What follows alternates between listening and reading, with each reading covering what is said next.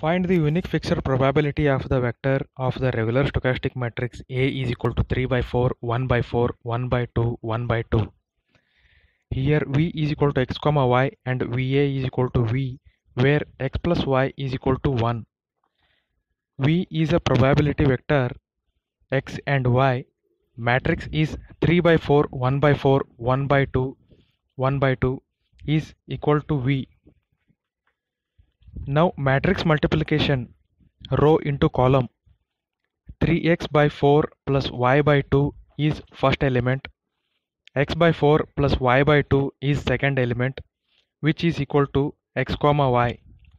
First element is equal to first element. It can be written as 3x by 4 plus y by 2 is equal to x which is equation 1 x by 4 plus y by 2 is equal to y which is equation 2 we know that x plus y is equal to 1 can be written as y is equal to 1 minus x.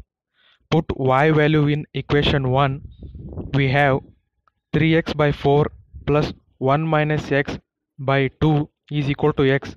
It becomes 3x plus 2 minus 2x is equal to 4x then the x value becomes 2 by 3 put the x value in y is equal to 1 minus x which becomes 1 minus 2 by 3 is equal to 1 by 3 hence the value of x is 2 by 3 and value of y is 1 by 3